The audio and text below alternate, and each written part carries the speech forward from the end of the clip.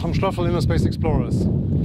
Today I would like to tell you a little bit about how to set up a shot line for deep wreck diving. Um, the reason for that is that I see a lot of really strange procedures out there and there has been a really nasty accident a couple of months ago with two fatalities actually while setting up a shot line. So um, we received also a couple of questions how we do that. So at the moment we are here in Elba on the Ghost Wreck project and I would like to take the opportunity to show you our setup. Um, of course that's not the holy grail of how to do this, that's the way we do it and I will tell you why we do it that way and um, maybe that helps you also to set up your shot line in the safest possible way. All right, generally talking about the length of the shot line, you always want a straight connection to the wreck. I mean, you do not want a wreck in 50 meters of water and then swim 250 meters down that, uh, that angled line. So for that reason, the worst thing you can do is just a line with a float on top and then throw it in the water because it will never be a proper guideline. Um, either it's too short, then it's probably drifting away, or it's too long, then you don't have a proper, a proper rope, rope going down. So you need a counterweight. Uh, which brings me to the length of the rope. We normally say 10, 15 meters longer than the depth. And um, the counterweight is this one here, which in that it's like uh, four and a half kilos of lead. Um, and it's not painted orange because of ISE, it's painted orange because this thing's hanging free in the water and if you have a bit of surf, actually it will do this, it will start to bump up and down. So while divers are in decompression, you know, going up, there's a high chance they get it on their head, which is not, not a good thing. So we painted it in a bright color so it's easy to spot and people are safe. And obviously that's something that has to be in the dive briefing. On the other end, is the shot, the shot weight. In that case, that's uh, 28 kilos of lead on a, on a belt. You see it's secured two times so the belt cannot open. You see that there's a swivel in it. Um, the reason for that is when you throw it in, usually it starts to spin. Um, and that means you have a, a, line that's starting to spin and coil up. So you want that swivel in there, and there's a, a, proper eye in there so not just a knot. And as you see, there's a Takling. Uh, if you want to know how this is done, there's a video on the YouTube channel how to do a Takling stronger than a knot. Uh, it's actually two on top of each other, and then all of this is soaked in uh, in super glue. So no way this is is opening up. Um, so you want a, a weight as heavy as possible so it goes down as fast as possible. If you had, I recently somebody, saw somebody using a brick like from house building and that is like going down like this and obviously never hits the wreck, it goes somewhere. And there's always these people who have no idea about blue water and buoyancy and whatever, so they actually try to hold on that rope and swim down or whatever. And then you come down and there's no wreck but just sand and a drifting weight and that usually is uh, not what you want. So take a heavy weight. The heavy weight on the other side brings up the problem, how do you get that back on board?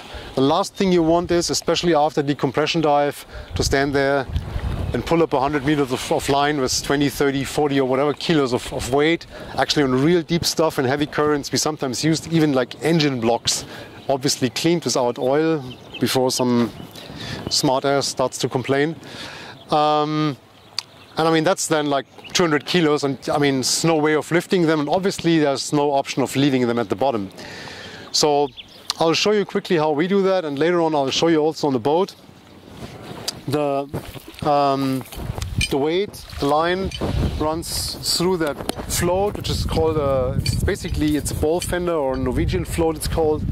So it has a lot of lift, it's very stable and it runs through there. And then we have the counterweight on the other end. And what we do is we have this, um, this brake in here uh, which is from climbing. It's a rope brake, so the weight, the line can go through this freely. But if it pulls on the other side and uh, this counterweight is removed, you actually you actually can't. So what we do is um, when we want to bring up the line, we go with the boat to that uh, float. We get the counterweight in, remove that uh, that additional clip and then just uh, take a bit of rope, put it on the back of the boat, full throttle. The resistance of that float um, presses it underwater, so there's a lot of resistance, and the line starts to go through that chicle and starts to come up. So when I slow the boat down, the meanwhile floating um, main weight cannot go back down because of that brake. So I have the line on the surface. I can easily pull it in, put it in the in the bin. Maybe I have to repeat that a second time, but then I have the float with the main weight directly under it, and I can just lift that in the boat. No hassle, nobody gets decompression issues. Um, perfect. So now comes the really important part. How do we set this up?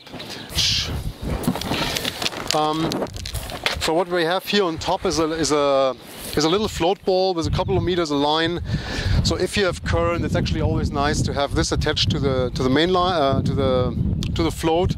So it's a good indication for the skipper uh, where to position himself before he drops the divers. And on top, if uh, there's more people on the line, it's always nice somebody can just grab this and um, hold himself in the current. So how do we how do we do that in a proper way? The float with the rope brake is at the counterweight. So that's the last thing that goes in the water.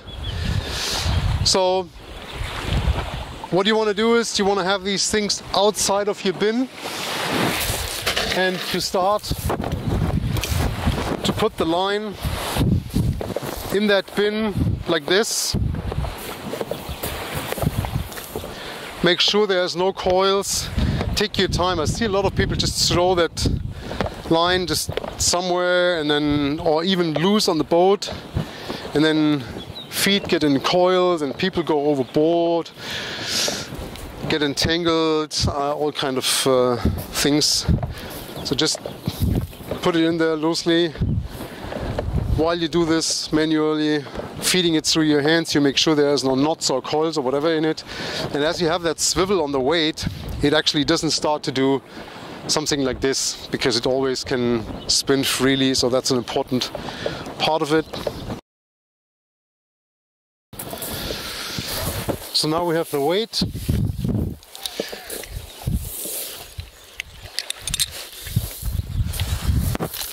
weight goes on top.